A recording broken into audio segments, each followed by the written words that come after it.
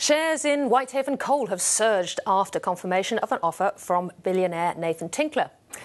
In a statement to the Australian Securities Exchange, Whitehaven said it has received a non binding proposal relating to a possible privatisation from the Tinkler Group. The company said the proposal is incomplete and not capable of being progressed at this time. There's been speculation Mr. Tinkler, who already has a 21.4% stake in Whitehaven, will launch a full scale takeover bid.